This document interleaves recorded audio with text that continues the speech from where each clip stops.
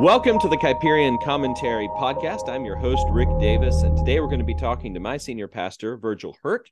I've known Virgil for over 20 years, and he's been not only a friend, but a mentor and an example to many men and families at Providence Church here in Lynchburg. Uh, Virgil is also the presiding minister of the Communion of Reformed Evangelical Churches and this year marks the 25th anniversary of the CREC as a denomination. And so we're going to be talking to Virgil today about what he sees as the future of the CREC. So, Virgil, welcome to the podcast. Glad to get to talk to you here. Thank you. Glad to be here. So, uh, first question I want to ask you, and we can just talk about this. This is your last year as presiding minister. And so you will have uh, been in the position for about six years. Uh, mm-hmm. Uh, many of our listeners I know are CREC folks, but some are not. So, do you want to talk just a bit about what the presiding minister does and maybe what sorts of changes you've seen in the CREC over the last six years? Uh, well, what does the presiding minister do? Our uh, we we have seven presbyteries. Each of those presbyteries has a presiding minister over the presbyteries that range anywhere from ten to about twenty five churches and um, and then over the the council, CREC council, is the uh, deliberative body above the presbyteries where appeals would be made, where constitutional changes would be made, and that sort of thing. And I oversee that. So um, the the regular main job of the presiding minister is to plan our council meeting, which is only every three years, and where all of the presbyteries come together at the same place and they have the presbytery meetings. Then we have a council meeting and consider any um, constitutional changes or book of procedure changes and other sorts of things. In between that time, uh, you, the presiding minister, is uh, the person who gets emails from prospective folks interested in CRC or pastors or churches, pastors who are looking uh, for a call within the CRC. Um, so a lot of following up on those sorts of things, referring those uh, those people to the presiding ministers of the presbyteries that govern, um, you know, the area where the person is making the inquiry from. Uh, um, making statements about cultural issues that are going on that affect the church, uh, and staying in contact with various presiding ministers uh, of the presbyteries, particularly, is is my my role. So you mentioned fielding inquiries about churches joining the CRC or, or coming into the CRC. Is that something you've seen an increase of in the last few years? Yes, um, we have on our uh, CREC website uh, a link to me to my email address to ask about planting a church or interest. And a few years ago I, I would get those emails occasionally. Um, i don't know maybe one a month or something like that. I get them now probably four or five a week almost almost every day. I get an email from somebody somewhere saying we need a crec church in our town uh, is the CREC planning on planting a church in our town? So I get those very regularly now. I refer those generally to the presiding ministers. Some of those are turning into groups of people uh, and potentially church plants. And there's a lot of that going on right now. So that especially the last couple of years, we've seen a lot of growth in our uh, various churches, uh, individual churches. Many of our churches were, most of our churches are pretty small. And even a few years ago, we only had a handful of churches that were over 200 members. In the last couple of years, a lot of those churches have doubled in size, or some of them have tripled in size, even. So there's been a rapid growth and interest in who we are and what we're doing. So, are you mostly seeing individuals who want to plant churches, groups coming together to create churches, or churches who want to come into the CREC as an already existing church? All of the above. Um, it's not a, a, large number, but for us, so we have about 100 and I think 107 churches worldwide. so if we have, you know, eight or 10 or 15 of those churches, that's a, a relatively large percentage of growth. And on top of that, we've in, in actual numbers of CREC members, there's about another 15 or 20 percent growth uh, in the last couple of years. So, uh, pretty rapid increase for us. The same sort of thing we've seen in our church here in Lynchburg. As you know, we've had a, a large number of people uh, join our church in the last couple of years. So. Uh, that trend is happening across the board in the CREC, especially in the places, nice places to live where people are moving to, uh, there's a large enough population where the churches are growing. Those those churches are are rapidly growing, at least rapid by by our standards. So why would why would someone want to be part of the CREC? Uh, well, there's a lot of good reasons. I um, our doctrine, our our churches are essentially um, Presbyterian. Uh, obviously, the Communion of Reformed Evangelicals were Reformed. Almost all of our churches are either Westminster uh, Confession of Faith, as far as our standards, or the three forms. So strongly Reformed. So our doctrine is one appeal, but that's really not the main reason we're seeing people come. Uh, the the thing that we're seeing in our church, and as I talk to other pastors in other churches, this is also true.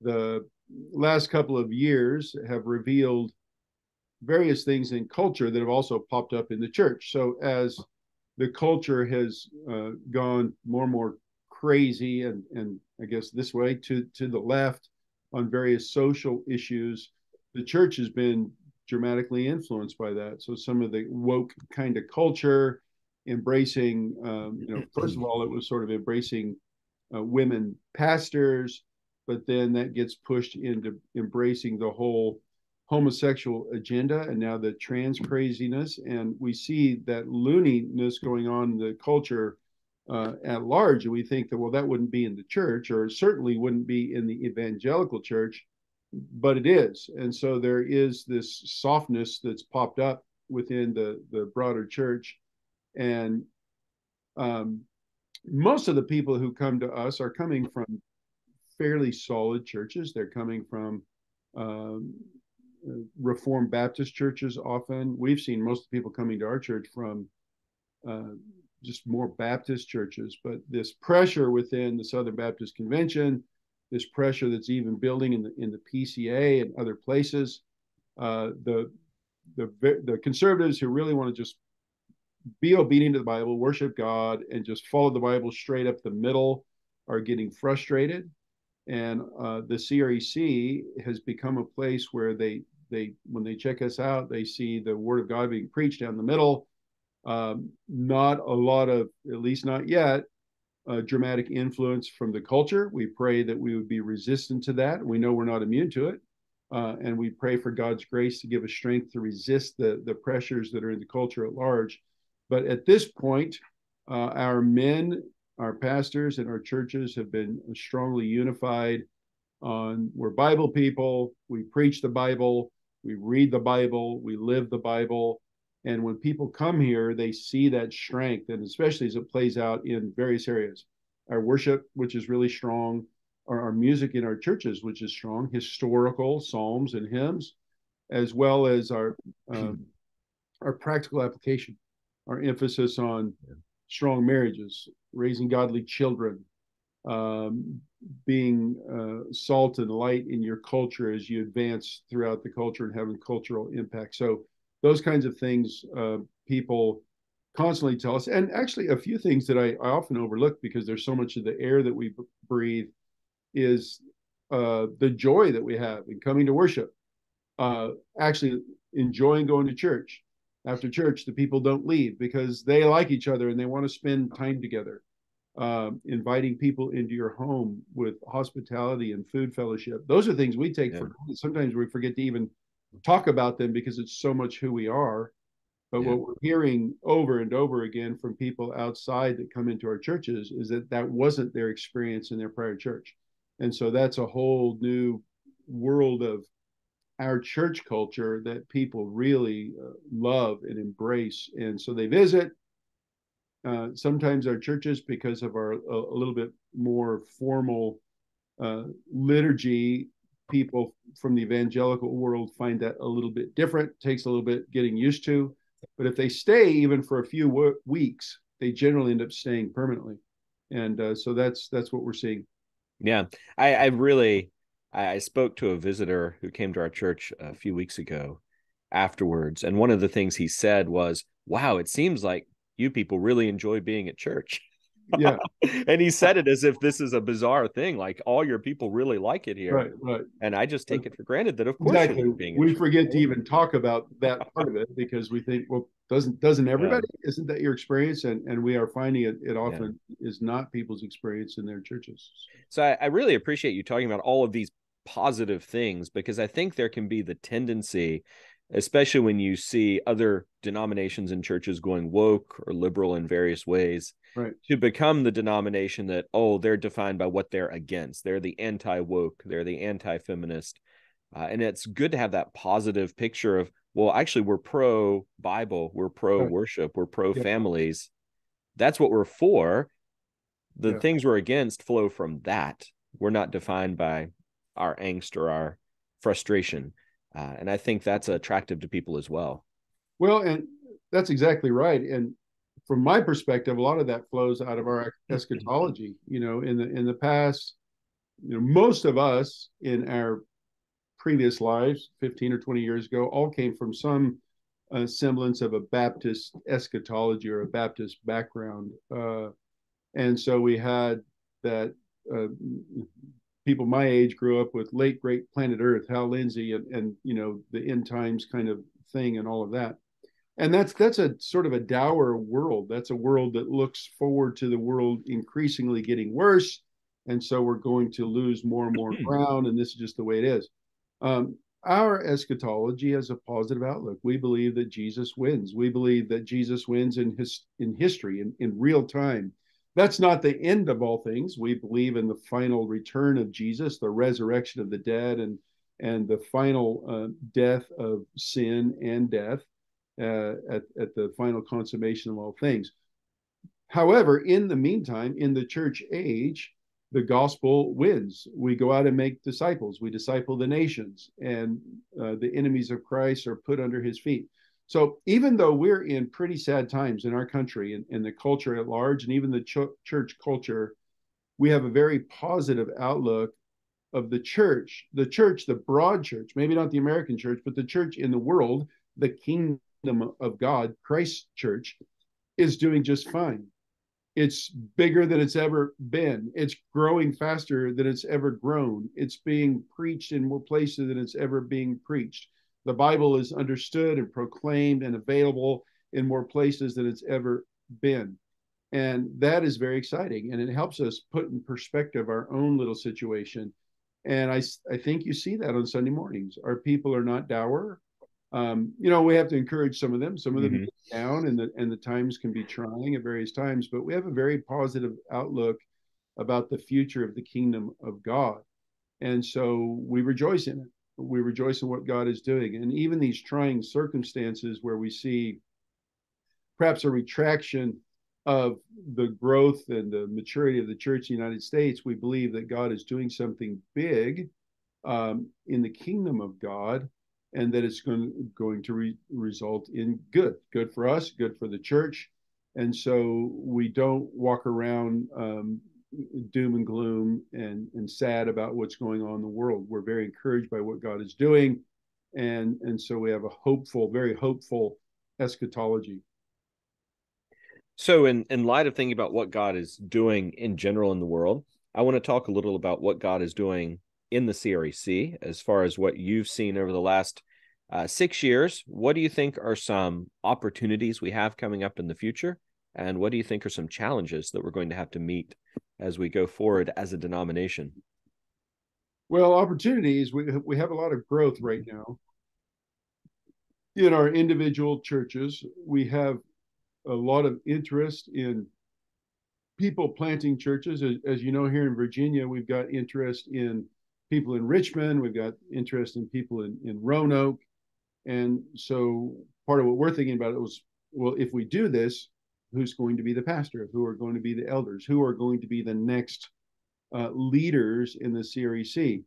I'm getting older, as you said. I've served six years as the presiding minister. I've been in my church for 23 years, and some of the older guard of the CREC are also getting older. Uh, the the reality is we need to replace ourselves, and relatively soon, or we're going to be in trouble. We need new. Uh, we need God to raise up, you know, workers for the harvest, and um, so that that that's uh, both an opportunity and a challenge. So we have the opportunity to grow we have the opportunity to plant churches. There's a, a, a demand out there uh, for, to put in better terms, our, our product, you know, faithful worship, preaching, practical Christian living, engagement of, of, of, the culture in our daily lives and our daily callings. And, and so, uh, in order to meet that demand, we have to plant new churches. In order to plant new churches, we need men to do that. That's a challenge for us right now. We're having a difficulty finding enough men to fill these spots. Um, there are within the CREC, there's a few different training grounds that we have. Theopolis, we have Greyfriars out in Moscow, and uh, those are, have been ministries that have been around for a while and are doing excellent job. We also are launching um, soon Reformed Evangelical Seminary, which is an effort, a collaborative effort of several CREC churches. So um, that is going to be run. It will be uh, all of the board members will be CREC members. Um, almost all of the teachers, if not all of the teachers and professors, will be CREC pastors and elders. So we're hoping to expand the number of people that we can train and that we can still train them. They won't they won't go off. It's going to be um, online. There may be some intensives that are in person, but it's going to be online. And the the men will train under the mentorship of their local pastor, which fits the way that we think we ought to train ministers. So we're really excited about that. That's a that's a big opportunity for us. It's going to launch officially this fall, 2023 and we're hoping that that will begin to build a pipeline of new CREC pastors for us in in say the next you know five to ten years that we'll be able to have plenty of men whenever we have a church opening or a church launch that we're actually going to have men to fill that spot. Yeah, one thing I've noticed about the CREC that's a little different than other denominations is that often you have a, a pipeline from undergrad seminary straight into ministry as a pastor. Many CREC pastors, I would, I would say most of them, uh, have out of college had other careers, other jobs, started a family, and then come to the ministry a little bit later in life. Would you say that's by accident or that that's by design? And how would the Reformed Evangelical Seminary play into that? Yeah, I, I'd say both by accident, by design, because we didn't have our own pipeline uh, you know, and and um, we didn't. As the denomination has grown, we're still young. This is our 25th anniversary this year. Um, a lot of people didn't know about us. I mean, we're more known now than we were 10 years ago, and I think we're going to be even much more well known in the future. The Canon Plus app has been a huge benefit for the CREC because those guys have now a really large following. So a lot of people have found uh, Douglas Wilson and a lot of other guys, and then through them they find uh, the CREC, Uri Brito and, and others, and, and they find the CREC through them. And so the awareness of who we are has been uh, rapidly growing. And so um, that has created a, a, much more interest. So we, I think it's really helpful if if a guy graduates from college, maybe even um, uh, gets a job. He may go to seminary first, or he may get a regular job. I believe that's tremendously helpful for a pastor. I did that. I worked in the corporate world for uh, 10 plus years before I became a pastor. And I found that that experience was really helpful in age and the things I learned in the corporate world, as, as well as sitting in the same place and shoes of, of your congregants who have to you know, do day to day work, deal with a boss, deal with the corporate world, um, pay the bills, all those kinds of things. And if you go just sort of, you always have been in ministry, you go to college, you go to seminary, you go into a church, you've never experienced um, the need to sort of pay your own way. Somebody else mm. is always paying your way. So it's not the worst thing. I think somebody could do that track and come out of seminary at, uh, I suppose they'd be 26 or 27 years old, become an assistant pastor or an associate pastor, serve under another pastor for a few years, and then maybe become a senior pastor. I, I think that would be okay.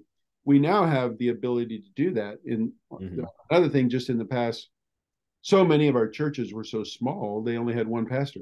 So uh, all of the, uh, almost all of the churches were a one man show. Well, now we have quite a number of churches who can hire their second and third guy, as you know. Uh, we hired you a few years ago as a full time pastor, and then we just hired another full time pastor. So now we have three full time pastors. So that's a great training ground for those men uh, if they get an opportunity to go to, on to be a lead pastor then we can hire another guy, get him trained, and he, he can go off. So um, that's a new thing for us. That's really changed dramatically in the last you know three to five years, and it's going to be a big positive and help our pastors get better training where they can uh, be successful. And back to your question, if some of these guys now get out of college, go straight to our seminary, graduate, and then become an assistant pastor, an associate pastor, serve in that capacity for three to five years. They could be in their early 30s then and have a lot of experience, um, which we didn't have before. Even those guys who put off going into the ministry till they were 35, they had world experience, but then they were be getting their first mm-hmm. pastorate at 40 with no pastoral experience. So that's not necessarily a good thing either. Mm-hmm. Yeah.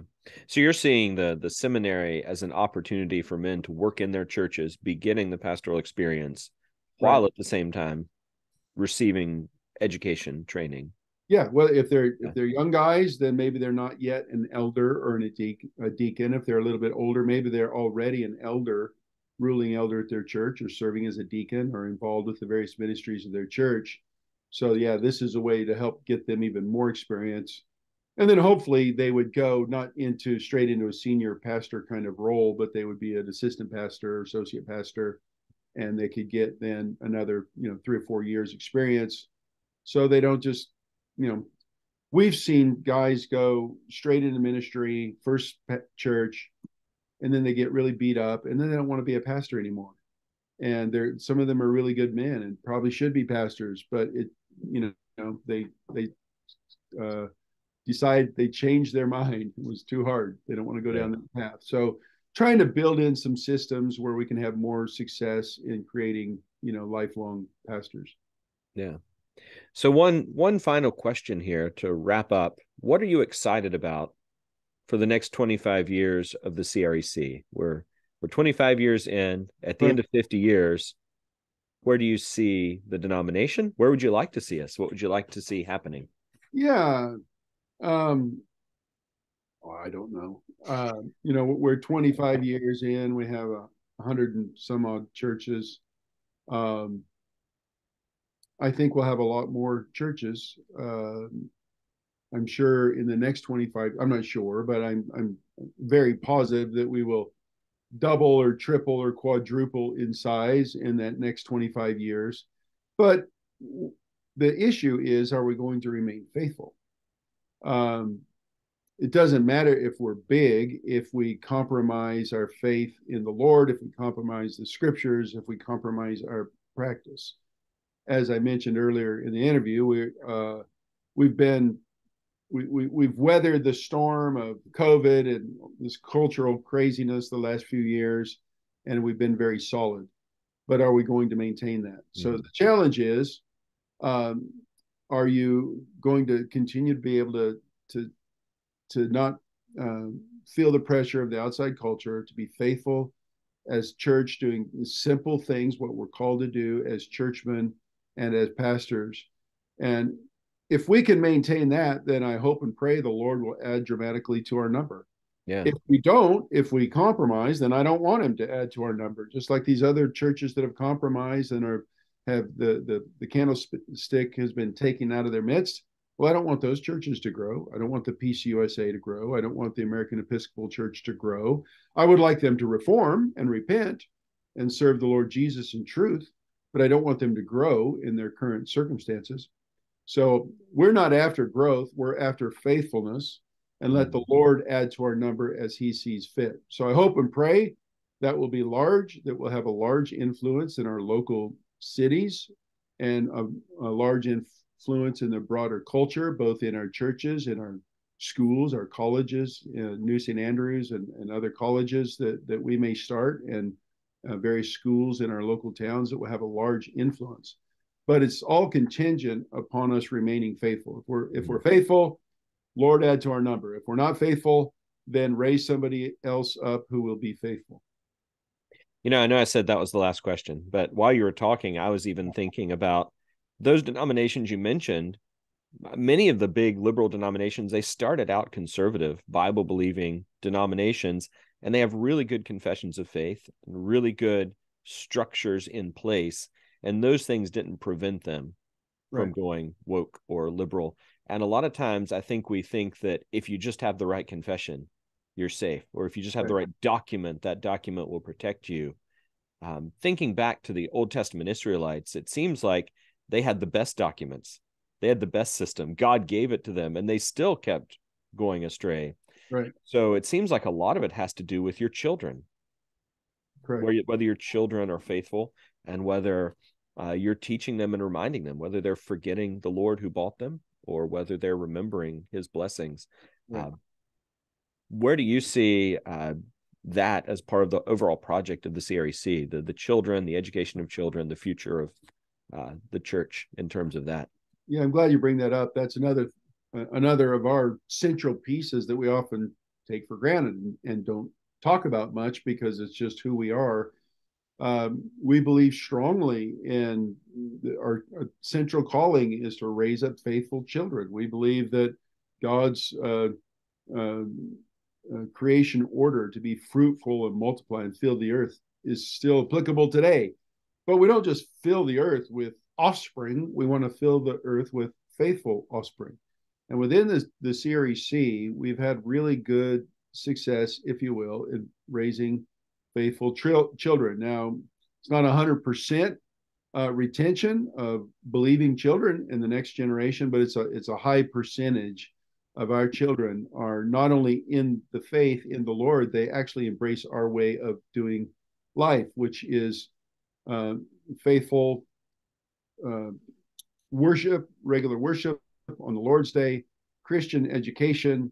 Uh, most of our children in our churches are either homeschooled or, or in a Christian school.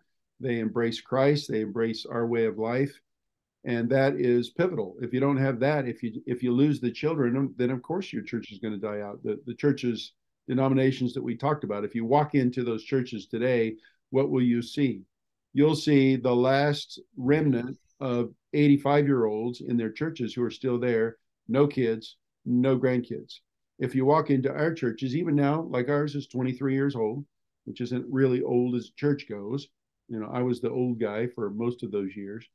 But as you walk in, what you see is children and children's children. I'm now baptizing the children of kids I baptized in our church who grew up in our church, who now have stayed in our church and are having faithful children, and we're baptizing their children. So, this idea of covenant succession, uh, having our children's children in the Lord, Psalm 128, what a blessing to see your children's children in the Lord is a key part of who we are and what we're doing and um, you know education family life faithful christian worship and fellowship is a big part of who we are and we're seeing uh, you know in a practical aspect practical um, sort of evaluation of it is that it works. Yeah amen. Well virgil thank you for taking time to talk today and thank you all for listening. This has been kuyperian commentary and everybody have a wonderful day. Thanks rick. Blessings to you all